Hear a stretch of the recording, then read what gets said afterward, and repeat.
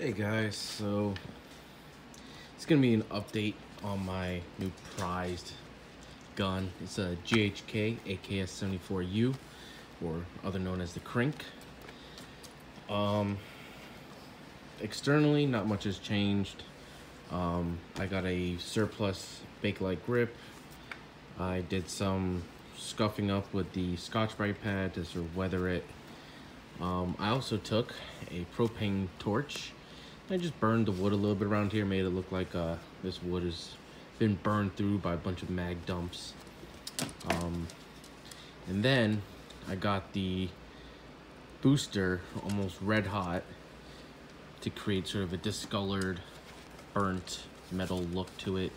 Just sort of weathering it, sort of dinging it up. Try not to make it look nice and new and pretty, just used and beat up. Not too beat up, but like I had some age to it. Internally, it's still W&S full travel kit. Um, so W&S bolt, W&S hammer, W&S uh, recoil spring and guide rod. Um, then I have the Hephaestus Type B selector, Hephaestus firing pin, sear and auto sear. And one of the newer mods is a W&S rapid fire spring kit thing. So basically originally back here where that silver part is, there's just a rubber pad. This threads into that hole. It's a little spring perch and spring, um, but usually it sticks out to about here. So what I did was I took that spring perch, I filed it and cut it down and I cut down the spring a little bit so that way the bolt comes all the way back. Well, not all the way, but a lot further back so I can still use the bolt hold open. Before, before that, let me just close this up real quick. Before that, that spring system, the rapid fire kit, would only let the bolt come back to about here, which is how it would stock. And to be honest, if you have a W&S full travel kit, you want full travel. I, I can understand why you would want to put that rapid fire kit in there. It does help boost the snappiness on semi and the rate of fire on full auto. But your bolt comes comes only comes back to about here. So you're still missing a good amount of full travel. Um, plus, I still want to retain the bolt hold open function. So I was doing a little cutting, modifying till it fit. So compared to how the rapid fire kit fires normally without any of the modifications I did, it does really boost the rate of fire significantly. Um, the way I have it now, you do notice a little bit of drop off in the rate of fire, but your rate of fire is still higher than what it is with just the rubber stop. So it's a good middle ground between a full-blown full travel without the spring and then having the rapid fire kit stock. So for me personally, that's uh, sort of a win-win for me. I still have more bolt travel, allowing me to lock it open and also just having full bolt travel, which feels awesome. But I still get the boost of rate of fire, which was lacking on a stock W&S full travel kit. Um, all that is now coupled with CO2 mag. Um, I did have the HPA drum mag.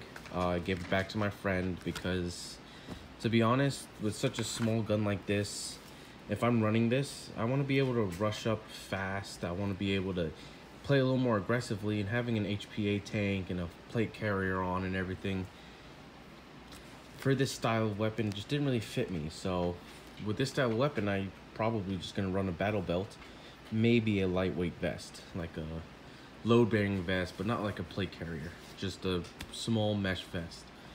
Um, so I got CO2, well I didn't get CO2 mags. These are green gas mags, which have been Devil Hunter modded, which basically you modify the magazine to take CO2 out of a like a bottle, so like a SodaStream bottle, paintball CO2 tank, um, some similar to that.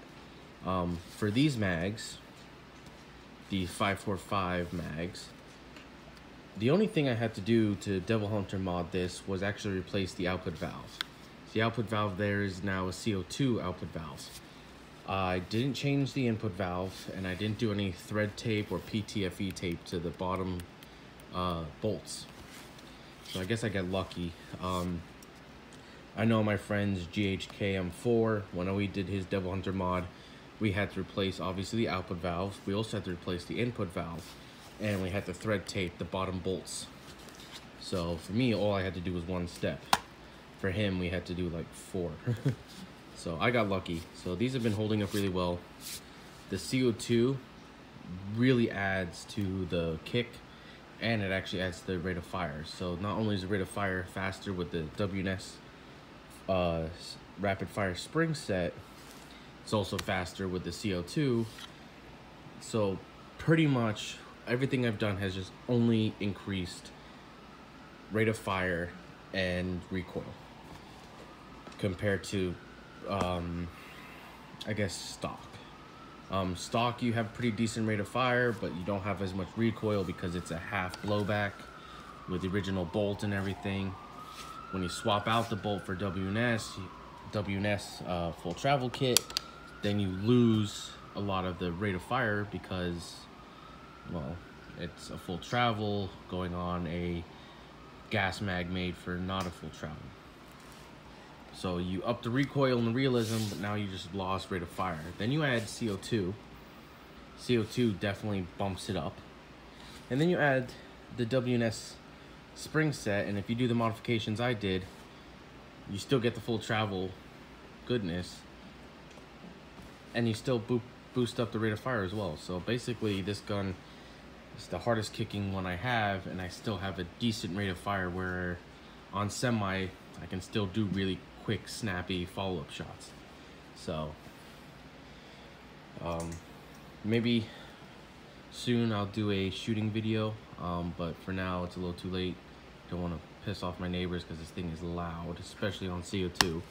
But this is by far one of my favorite guns to shoot or use as well um, it's still very fieldable. Um, oh, side note, I did replace the hop-up unit with a TNT hop-up unit and inner barrel and bucking um, just because the stock plastic one um, it broke. Uh, I want to say it's because of the cold weather and it being plastic but possibly it's just because I have a full travel kit in there and plus it's a stock plastic hop-up unit. But for my first game when I used the gun the stock hop-up unit was just perfectly fine. Um, the last time I used it, it actually was pretty cold, so it could have been that. But let bygones be bygones. I now have a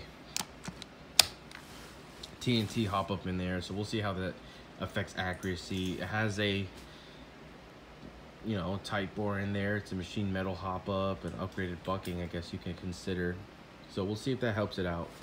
You know, it being such a short barrel itself, um, I'm not looking for amazing amazing accuracy out to 200 feet. I'm happy with decent accuracy at 100 feet. So that that upgrade was mainly just for durability and feeding, which it has been holding up really well. So we'll see. Um, hopefully, should be playing in a week or two, um, and then I'll maybe shoot some video of it firing um, and upload that.